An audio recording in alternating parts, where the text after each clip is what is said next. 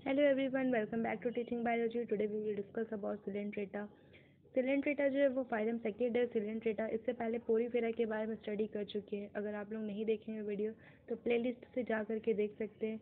NCERT class eleven के playlist नाम में सारे एनसीईआरटी का बना हुआ उसमें पोरीफेरा इससे पहले हम लोग डिस्कस किए हैं तो वो भी है ओके तो सिलेंट्रेटा की बात करें तो they are aquatic mostly marine sessiles और free swimming radially symmetrical animals तो ये कैसा होता है? सिलेंट्रेटा जो है एक्वेटिक हैबिटेट में पाया जाएगा।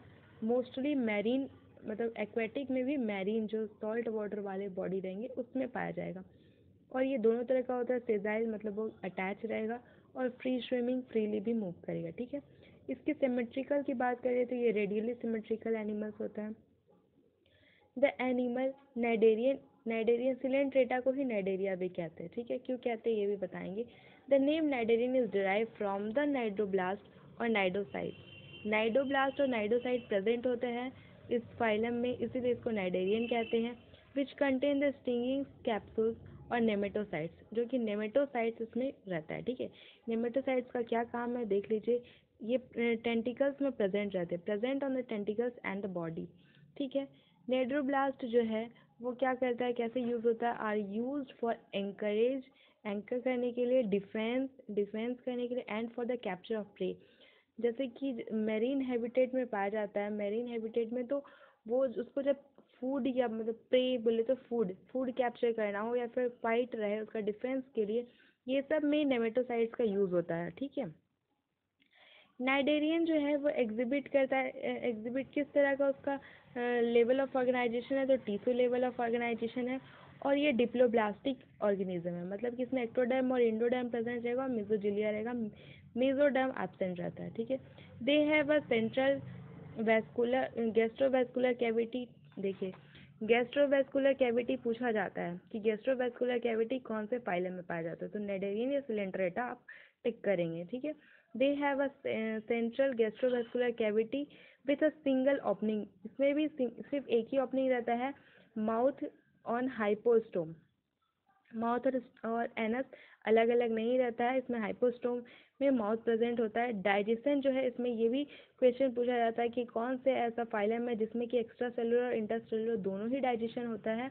तो इसका आंसर क्या हो जाएगा? सिलेंट्रेटा सिलेंड्रेटा बोलिए नाइडेरियन बोलिए, इसमें डाइजेशन जो एक्स्ट्रा सेलुलर एंड इंट्रासेलुलर दोनों ही होता है।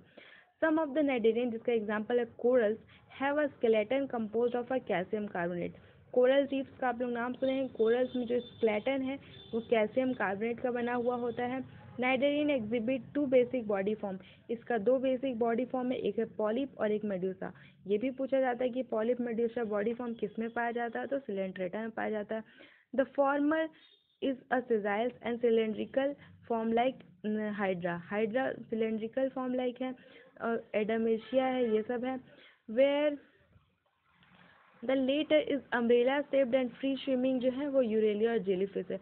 जो अम्ब्रेला सेप है, वो फ्री स्विमिंग है यूरेलिया और जेलीफिश और जो सिलेंड्रिकल है, वो सिजाइल है मतलब अटैच रहता है। कौन है उसका एग्ज़ाम्पल हाइड्रा ठीक है? अब आप लोग ये इसके बारे में डिस्कस कर लीजिए कि जो नेडेरियन है, वो एग्जिस्ट करता है बोथ फॉर्म में एग्जिबिट करता है alternation of generation alternation of generation को एक टर्म दिया जाता है बायोलॉजी में मेटाजेनेसिस कहते हैं। मेटाजेनेसिस जो अल्टरेशन ऑफ़ जनरेशन होता है तो किस चीज़ का अल्टरेशन होता है? पॉलिप और मेड्यूशा का। पॉलिप जो है, वो मेड्यूशा को बनाता है किस तरह से? असेक्सुअली और मेड्यूशा से फिर जब पॉलिप बनता है, वो सेक्सुअली होता है। इसका एग्ज़ाम्पल है क्या? ओबेलिया अब हम लोग बात कर रहे थे सिलेंड्रेटा का कुछ स्पीसीज का एग्जांपल देख लेते हैं। फाइशेलिया जिसका कॉमन नेम है Portuguese man of war Adamsia जिसका नाम है सी एनामोन पेनाटुएला जिसका नाम है sea pen pen like structure रहता है। गोरगोनिया सी फ़ैन इसको फ़ैन लाइक स्ट्रक्चर रहता है। और मैंड्रीन्स ब्रेन कोरल्स ठीक है? तो ये सारे एग्ज़ाम्पल दे करके भी दो चार एग्ज़ाम्पल दे दिए जाएँगे। पूछा जाता है कि ये कौन से फाइलम से है। कोई एक अलग फाइलम का दे दिया रहेगा तो बताना रहेगा कि इसमें कौन सा गलत दे दिया है। ठीक है, इस तरह से क्वेश्चन आते हैं। तो ये सारे स्पेशल फीचर है कि गैस्ट्रोवेस्कुलर कैविटी इसमें पाया जाता है, इस अल्ट्रेशन ऑफ़ जनरेशन यानी मेटाजेनेसिस होता है पॉलिप मेड्यूशा फॉर्म रहता है पॉलिप से मेड्यूशा असेक्सुअली मेड्यूशा से पॉलिप सेक्सुअली कन्वर्ट होता है। ये है, इसका एग्ज़ाम्पल ओबेलिया है।